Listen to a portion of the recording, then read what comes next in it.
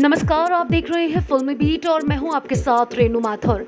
Sushant Singh Rajput case अभी तक रहस्यमय बना हुआ है। 14 जून को सुशांत सिंह राजपूत अपने घर में मृत पाए गए थे। सुशांत केस में एक्टर की फैमिली ने रिया चक्रवर्ती पर गंभीर आरोप लगाए थे और उन्हें मुख्य आरोपी बनाया था। आपको बता दें कि रिया चक्रवर्ती फ़िलहाल ड्रग्स केस को लेकर जेल में बंद है। रिया चक्रवर्ती को लेकर बॉलीवुड भी दो गुटों में बटा हुआ नज़र आया है। रिया चक्रवर्ती पर फैली सनसनी को देख कई फ़िल्म मेकर्स रिया पर बायोपिक बनाने की सोच रहे हैं। जी हाँ दोस्तों, रिया चक्रवर्ती को लेकर बायोपिक बनाने की तैयारी चल रही है, ऐसी खबरें आ रही हैं। आपको बता दें कि एक रिपोर्ट के मुताबिक सुशांत केस को नेशनल ही नहीं इंटरनेशनल कवरेज भी मिल रही है। कई फ़िल्म मेकर सुशांत सिंह राजपूत की गर्लफ्रेंड रिया चक्रवर्ती की ज़िंदगी पर फ़िल्म बनाना चाहते हैं। वहीं एक्ट्रेस को लेकर एक डॉक्यूमेंट्री बनाने की भी बात सामने आई है। मूवी और डॉक्यूमेंट्री के अलावा एक पब्लिशिंग हाउस रिया पर किताब लिखने की भी छापने की प्लानिंग में है।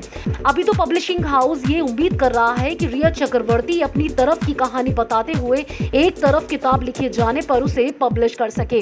जी हाँ दोस्तों, रिया चक्रवर्ती नेशनल ही नहीं इंटरनेशनल लेवल पर भी अच्छी खासी लोकप्रिय हो गई है, जिसको लेकर रिया चक्रवर्ती को लेकर बायोपिक बनाने की खबरें सामने आ रही हैं। आपको बता दें कि रिया की ज़िंदगी पर बायोपिक बनाने वाले फ़िल्म मेकर्स में कई ऐसे लोग हैं जो चाहते हैं कि रिया चक्रवर्ती पर वो फ़िल्म बनाए।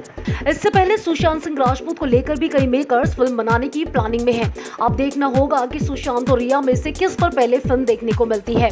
रिया चक्रवर्ती की बात करें तो वो आठ सितंबर को गिरफ़्तार की गई थी। फिर उन्हें चौदह दिन की न्यायिक कस्टडी में भेज दिया गया था। इसके बाद कोर्ट ने फिर से रिया की कस्टडी 6 अक्टूबर तक बढ़ा दी है। रिया चक्रवर्ती के अलावा उनका भाई शोविक भी सलाखों के पीछे है। बॉलीवुड से जुड़ी तमाम खबरों के लिए आप देखते रहिए फ़िल्म बीट।